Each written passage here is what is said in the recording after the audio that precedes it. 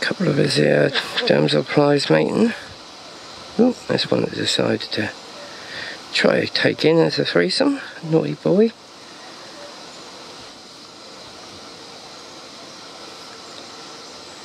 Male has grasped around the back of the neck. She's brought her abdomen straight the way up to the male thorax.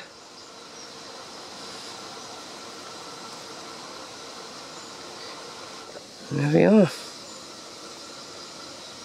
Happily mating.